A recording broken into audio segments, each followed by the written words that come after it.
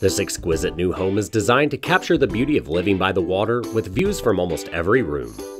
Light streams into the chef's kitchen and family room with a 23 foot NanaWall. The master bedroom suite includes a private balcony, a spa like bath, and walk in closets. The second floor entertaining deck overlooks the Saugatuck River. The approximate one acre property includes a saltwater pool, a cabana bath, along with covered and open porches. Contact Totney Benson for more details.